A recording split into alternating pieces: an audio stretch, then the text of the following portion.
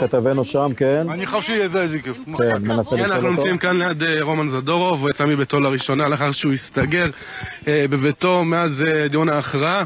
רומן, כמה מילים? הכל בסדר, תודה חבר'ה. איך אתה לאחר ההכרעה, הזיכוי?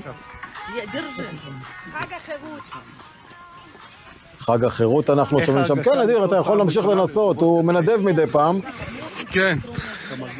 חבר'ה, תנו לי בבקשה פרטיות קצת. אני פעם ראשונה יצאתי לטייל עם המשפחה. וואו, כן. כן, אנחנו שומעים את רומן זדורוב אומר שפעם ראשונה מאז אה, 16 שנים הוא יוצא לטייל עם המשפחה. כפי שניתן לראות בועז, אנחנו מלווים אותו יחד עם משפחתו, אולגה והבן שלו, ועוד אה, שתי תומכות אה, שלצידם אה, צועדות. בועז, כפי שניתן לראות, הוא מטייל לראשונה לאחר אה, 16 שנים אה, בקצרין, כאן, כן. שבגולן.